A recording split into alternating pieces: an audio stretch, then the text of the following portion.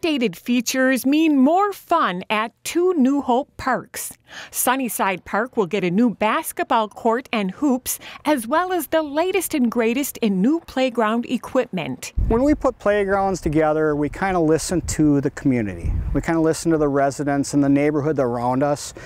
What this neighborhood wanted is they wanted multiple slides. They wanted climbing um, apparatus, ropes, and and so forth like that. And they wanted a zip line. That was their biggest thing because that's the new thing today. Um, so we kind of put together what you would call a, traditional playground with a more modern playground. So it's kind of a mixture of the two. Um, and I think, you know, with some fun new colors and so forth like that, I think, I think we've got a nice park going in here.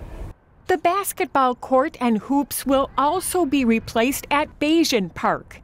These new additions at both parks are expected to be completed in early June.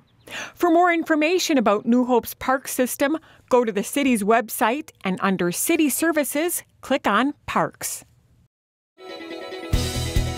Learn more about the connection at ccxmedia.org and follow us on social media.